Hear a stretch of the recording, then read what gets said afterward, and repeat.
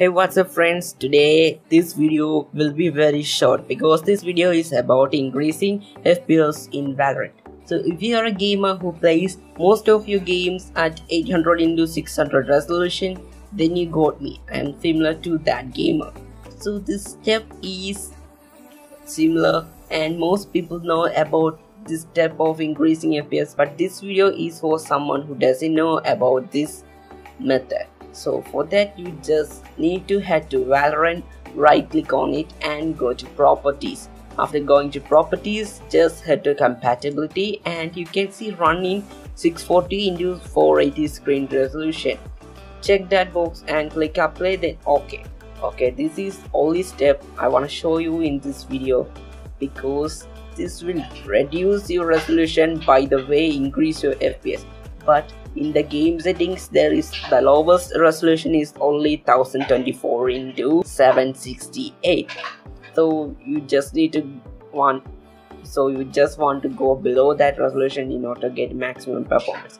In case if your resolution of the game doesn't change in what you expected just need to go to this pc and local c win users and your PC's name, then app data, then local, and drag down to Valorant and save config F9EE folder, Windows, and you can see game user settings. Right click on property to check whether it is read only or not. If it is read only, uncheck it. And after you open, you can see resolution size X, and you need to type 640 there and in Y 480 there. After that, click file and save the notepad and after you do that all just remember to check the read only again. Okay that's done. Play and okay this will make your game run at that resolution. If any problem occurs just write in the comment section and i will be there so if you're wondering how the game will look like after applying this so i just made a clip in order to show you how the game will looks after applying the settings and this is how your game looks after doing everything you see in this video. But while recording my PC will get some input lag because my CPU is not very nice.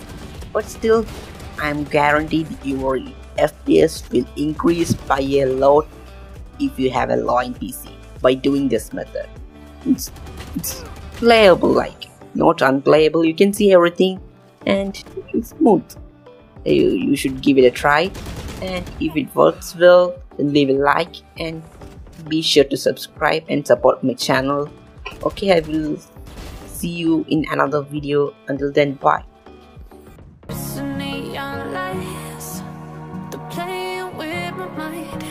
Gotta get out of here tonight. Oh,